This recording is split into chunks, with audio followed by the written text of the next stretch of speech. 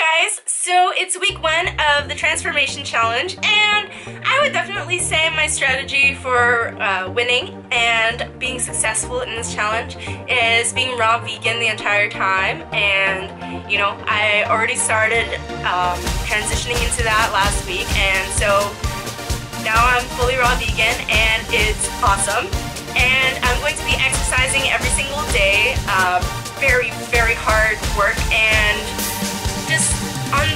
rest days, I'll just kind of do light exercise like walking, some cardio, just so it's, you know, so my body's still moving and, you know, just so I'm still burning fat. And also just, you know, I have the 250k uh, challenge hashtag um, that you take the picture with and I have it posted in my room and I have it posted in the bathroom, pretty much every room in the house.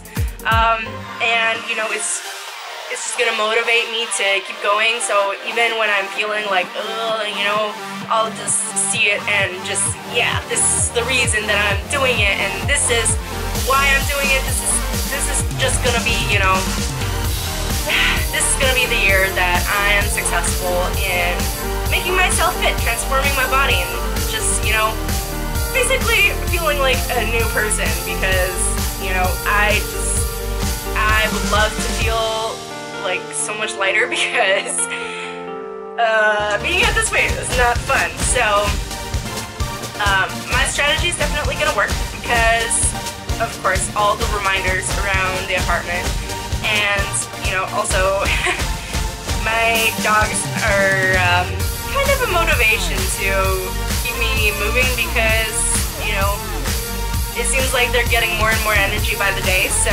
I need to get fit to be able to keep up with them.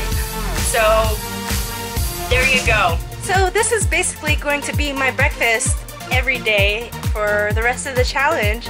It's going to be bananas, dates, blueberries, cherries, and lemons. And of course I'm going to interchange uh, a few fruits along the way but basically, it's going to be like this pretty much every single morning.